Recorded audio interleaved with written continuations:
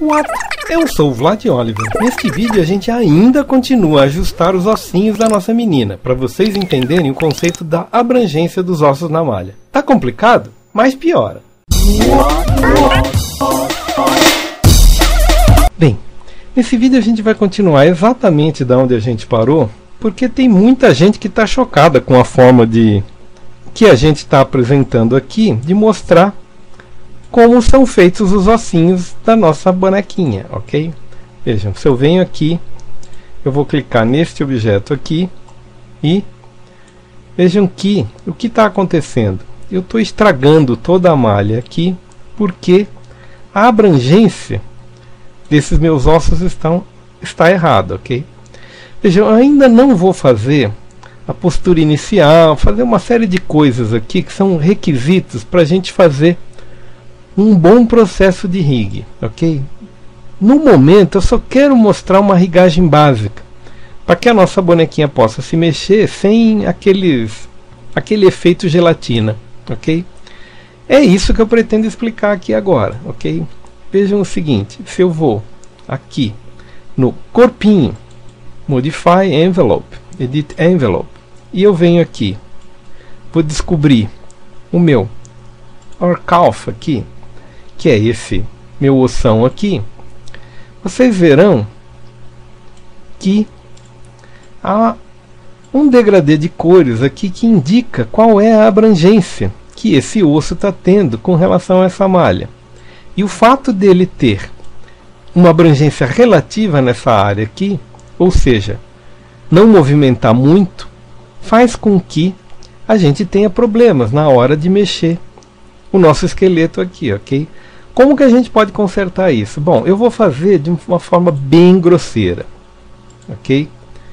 Não é muito assim que a gente tem que fazer, mas vejam, se eu aumento aqui a área de atuação do meu osso, clicando aqui nesse nesse círculo que se torna roxo, vejam que eu tenho uma atuação maior do meu objeto. Eu tenho tudo mais vermelho, ok? Agora, reparem uma coisa: eu tenho um pouquinho de atuação de uma perna na outra, o que é absolutamente absurdo, ok? Vejam, vamos sair daqui, vamos mostrar como é que é que funciona a mecânica da coisa. Eu venho aqui, clico no meu osso, vejam que desta feita, desta vez a minha perna não está deformando tanto. Mas o que está acontecendo? Vejam, se eu vier aqui mostrar ela tem uma pequena deformação muito pequena aqui na outra perna. E essa deformação não faz o menor sentido, ok? Então, o que, que significa a gente dar os devidos pesos aos nossos bônus? Significa gerar uma área de influência neles, edit envelope, ok? Edit envelope. E vamos lá no nosso calf, ok? Vejam, eu estou fora da minha posição inicial, portanto, eu não estou entendendo direito o que está acontecendo aqui, ok? Para que eu possa entender, eu tenho que vir aqui, sair do Edit Envelope, clicar no meu objeto aqui e ver na posição inicial como é que é que funciona de novo Arcalf aqui. Ok? Como é que é que funciona a abrangência desse osso na minha malha, ok? Vejam que se eu pegar outros ossos, aqui eu não estou vendo esses ossos, mas vejam só, é, dedos, dedos dos pés, dedos das mãos, a hand, minha mão inteira, left, ok? Esquerda. Ou minha mão inteira, right. Eu posso ir avaliando a abrangência que esses conjuntos têm, ok? E se eles vão causar algum problema na hora que eu vou fazer a minha animação. Vejam, ainda é muito incipiente, ok? Eu apenas estou mostrando qual é o processo. Se eu vier aqui de novo no meu Aircalf, Arcalf, ok? Que é a abrangência deste osso aqui, daqui de baixo. Vejam, eu vou clicar, sair no Realist e vir para o Wireframe.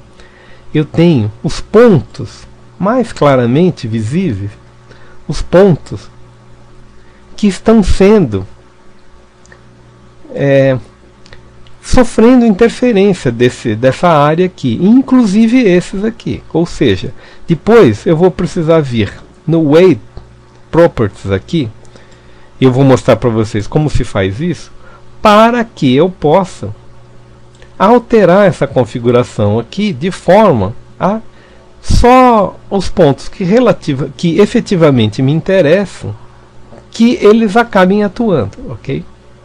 No momento eu ainda não estou preocupado em fazer, desenvolver a técnica. Eu estou preocupado, sim, em mostrar para vocês qual é o conceito, porque ele não é um conceito muito simples. Eu saio do Edit Envelope, eu clico aqui e vejam que a minha perna, neste exato momento, ela não está tendo uma grande alteração. Em compensação, reparem nesta área aqui enquanto eu movimento. Vejam, não faz o menor sentido que uma perna acabe movimentando os músculos da outra, ok? Tudo isso são coisas que a gente vai ter que resolver adequadamente, ok? E eu vou mostrar para vocês como é que se faz isso de uma forma, num momento bastante simples, bastante primitiva, porque o correto mesmo é ter todo um processo que vai desde os ajustes das peças do, dos personagens via um gerenciamento bem preciso até o uso de algumas eh, algumas ferramentas. Para quando eu quiser ter movimento do olho, movimento do, de determinados conjuntos, a perna inteira, etc, etc, eu tenha alguns helpers para fazer esse tipo de posicionamento, ok? No momento, é só o conceito básico que a gente está desenvolvendo aqui, ok? Nos vemos no próximo vídeo. Isso é um treinamento. Seu uso faz tudo errado. Quando a gente fizer certo, eu te conto.